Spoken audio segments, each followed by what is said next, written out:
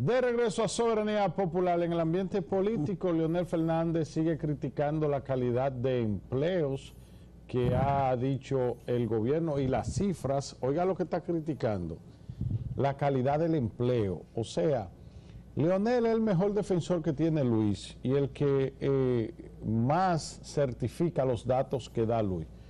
Porque Leonel, al ser un estadista, se cuida de negar las estadísticas, porque están ahí, él sabe que son irrefutables. Ahora, es lo que ahora, en materia de que tiene que hacer algún tipo de oposición, es negar la calidad.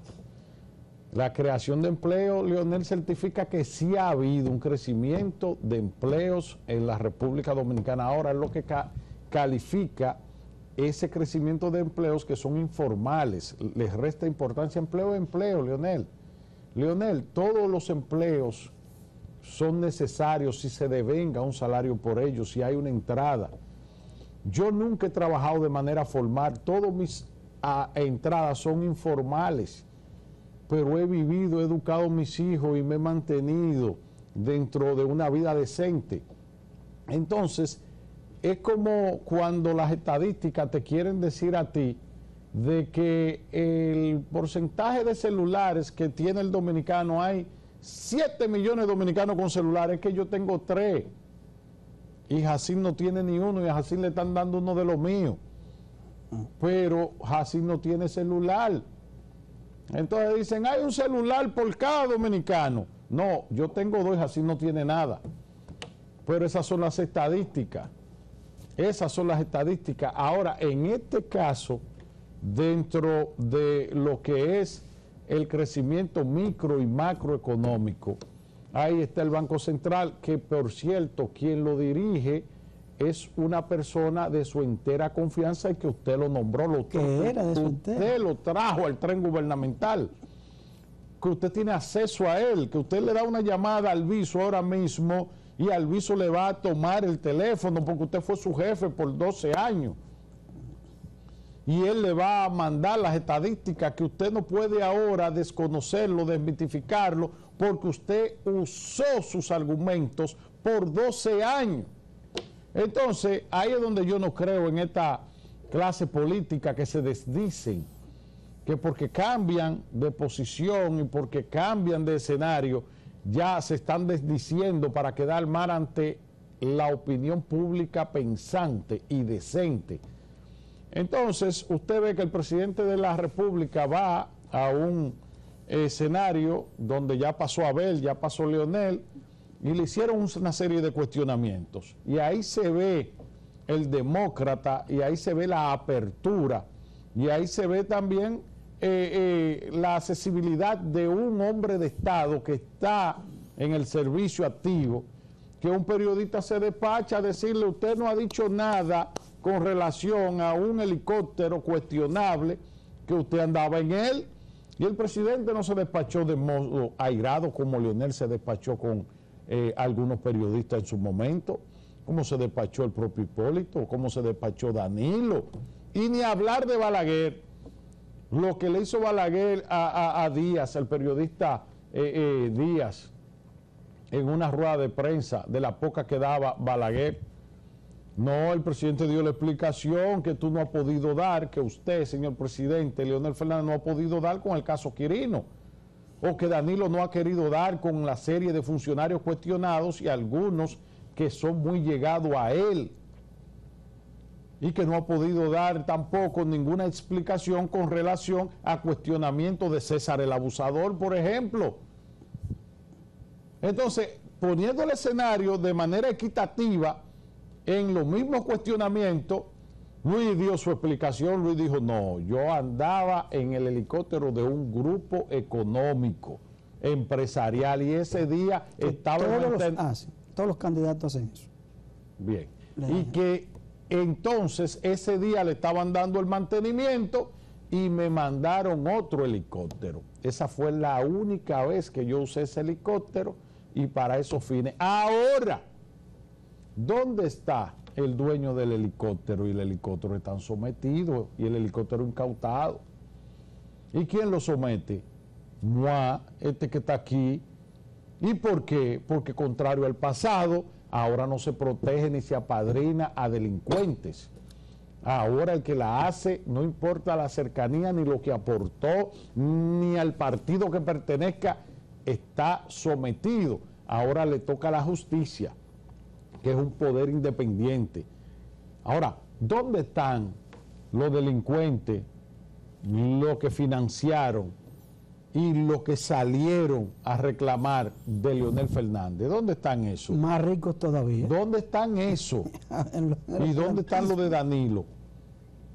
Los delincuentes que están explotando y saliendo a la luz pública en el gobierno de Luis Abinader se fortalecieron por 20 años en los gobiernos del PLD. es la verdad, el diputado aspiró en el PLD y fue candidato del PLD, que no ganar es otra cosa.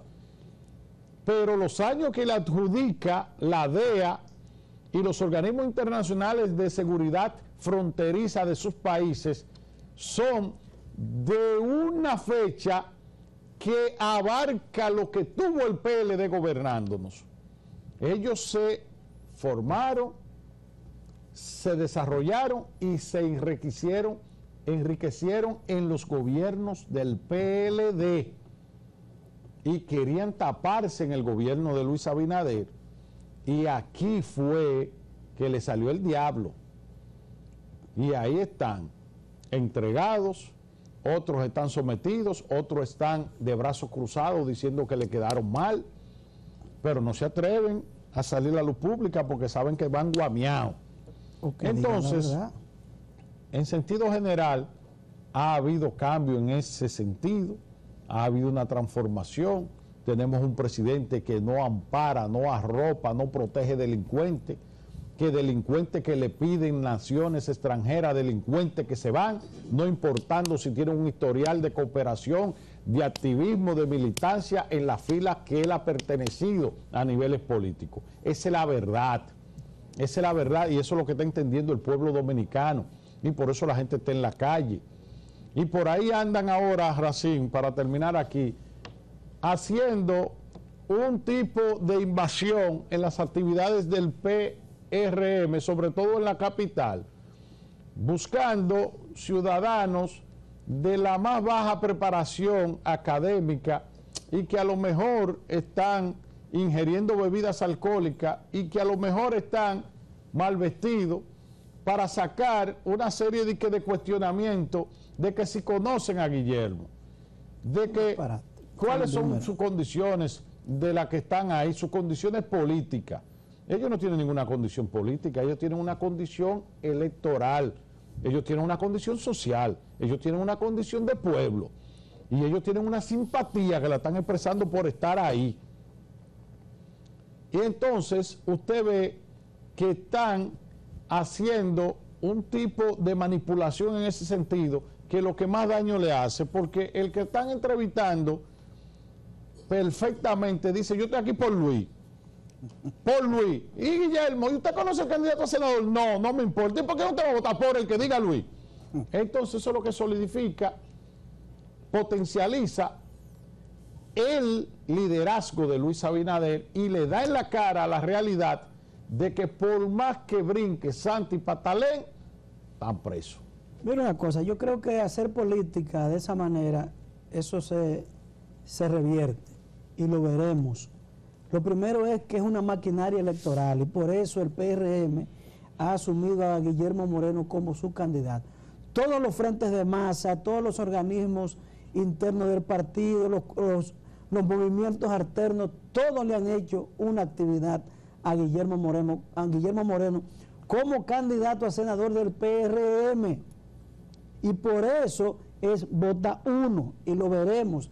Eso de hacer campaña, de que Miren que quien lo conoce, señores, Guillermo Moreno es un político de data de muchos años.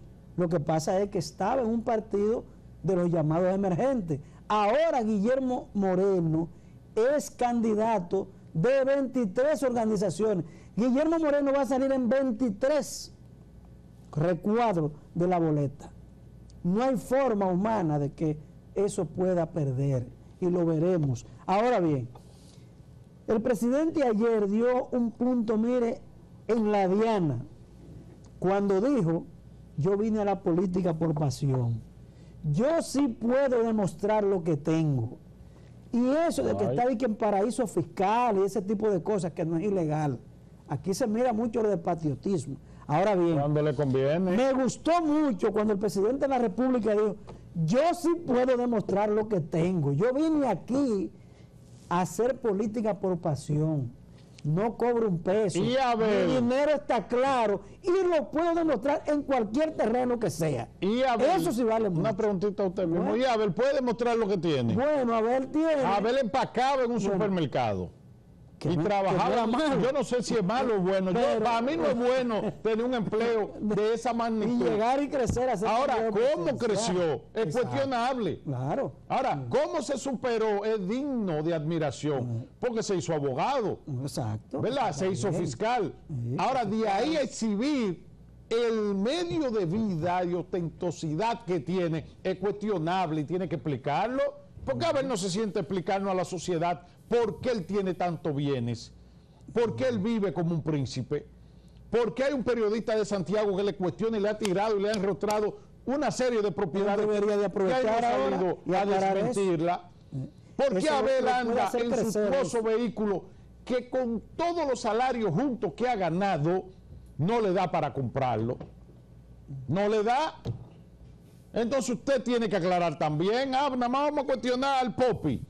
Más vamos, vamos a cuestionar al de nosotros. Al opositor. ¿Verdad? Al que usted está opuesto a que continúe.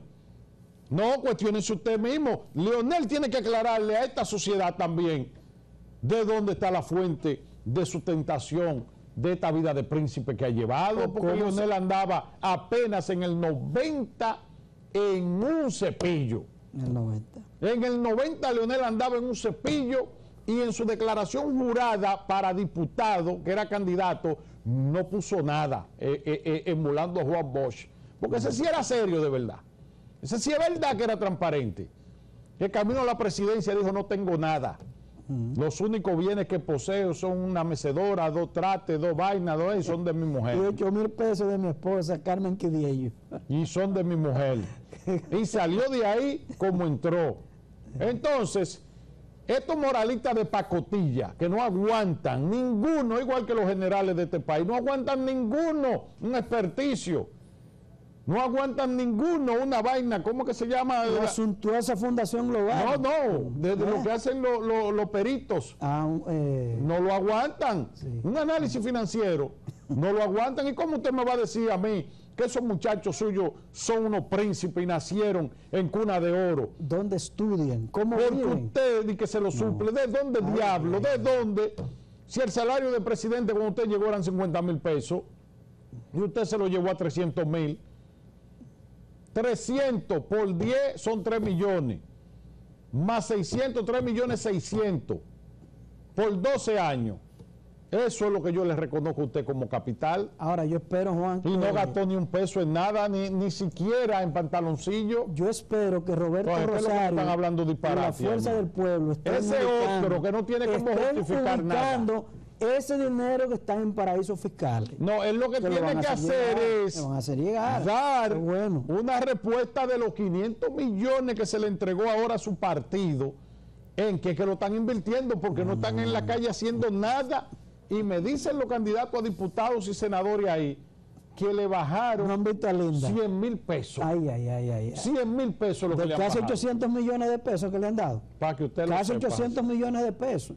Aquí no vamos a cuestionar todos. Yo creo que la bola está en la cancha de la fuerza del pueblo para buscar ese dinerito que está en paraísos fiscales, porque el presidente Abinader dijo que se lo va a pasar a la fundación, a la fundación global. Entonces ahí van a tener mucho dinero si aparecieran. Y lo ¿Eh? de ellos. ¿Eh? Y lo Pero de ellos. todo, Lo de Gran Caimán. todo, todo. Y lo de los socios. y lo de que trajeron aquí empresa, Carrefour, el Ay, diablo y su ay, hermano. Las gasolineras y los gaseros. ¿eh? Ahí sí hay mucho. ¿Verdad? Y ninguno son de este gobierno. No creo que sean ninguno. Que hablen con Carbone, que le den respuesta a Carbone. A ese que tiene que darle respuesta, a Carbone. Bueno, bueno, señores, llegamos al final, ya los Abigail están con nosotros. Nos vemos esta noche en Rumba, 9 de la noche. Sigan con Teleradio América, mañana a las 7 Brigada aquí a las 2 de la tarde.